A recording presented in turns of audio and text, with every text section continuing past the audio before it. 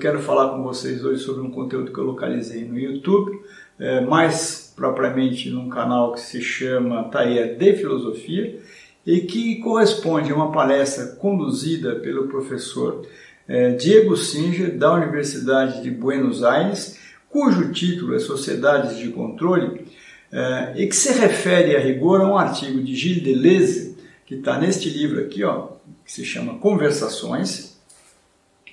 que é uma espécie de coletânea de artigos que o Deleuze publicou ao longo da vida em vários veículos, não é propriamente um livro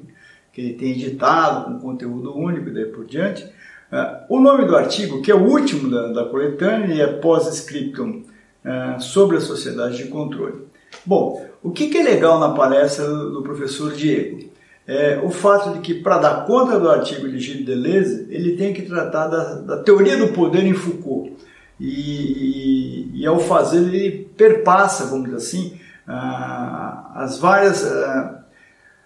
as várias configurações de poderes que o Foucault localiza ao longo da modernidade, até chegar nas ditas sociedades de controle. É, Para quem se interessa sobre o tema uh, do poder em Foucault, eu recomendo extremamente uh, ver o vídeo do professor Diego, porque ele é muito interessante